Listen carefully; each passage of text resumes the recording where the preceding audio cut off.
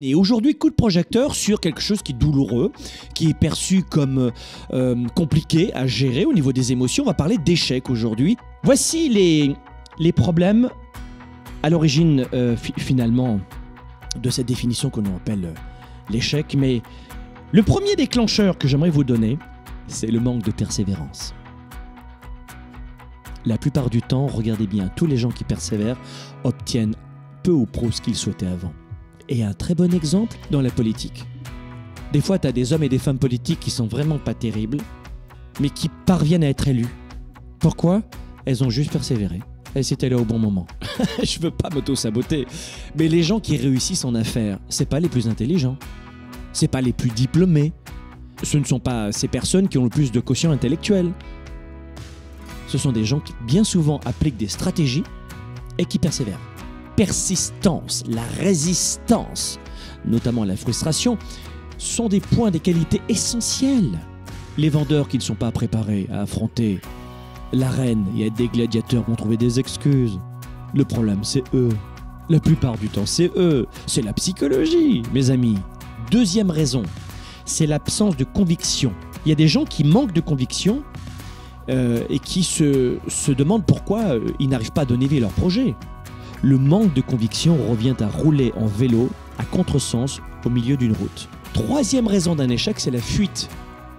Beaucoup d'entre vous, pour ne pas souffrir, vous avez tendance à vous dire bah, flûte, je vais euh, laisser tomber. La fuite, euh, elle peut apparaître ainsi.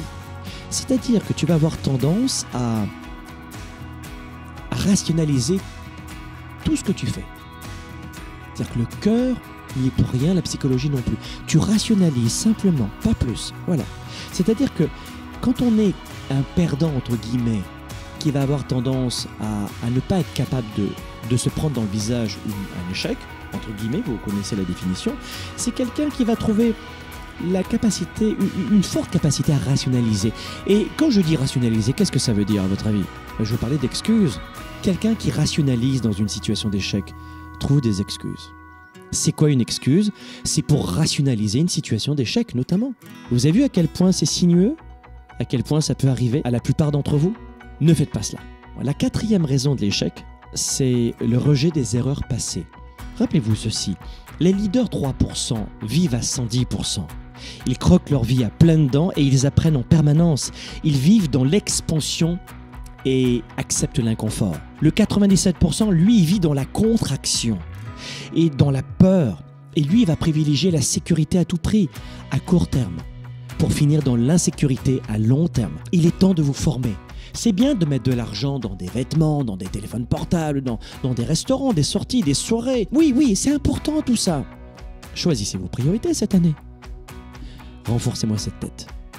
Dans la société, on dit toujours qu'il faut apprendre de ses erreurs. Oui, c'est vrai. J'ai compris il y a très longtemps qu'il y avait énormément d'apprentissage dans la réussite et dans l'échec. Mais je vais vous dire quelque chose que vous entendez pas peut-être souvent, c'est que le cerveau apprend beaucoup plus avec la réussite. Parce que c'est la réussite qui permet de tenir sur la durée. 5. désolé, ça peut vous paraître simple, mais c'est le manque de confiance en soi. Et notamment quand vous êtes dans un métier qui demande du charisme, de l'aura, de l'énergie, de la communication, comme entrepreneur au début, où vous, vous livrez le produit, vous le fabriquez et vous le vendez. Le métier de vendeur, bien évidemment.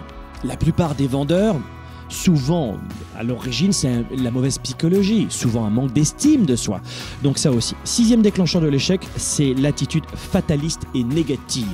Donc là encore, trouvez votre méthode pour être positif, pour être joyeux, joyeuse. Trouvez vos façons à vous. Ça ne s'improvise pas. Et la plupart des gens en sont victimes. Et je ne veux pas cela pour vous.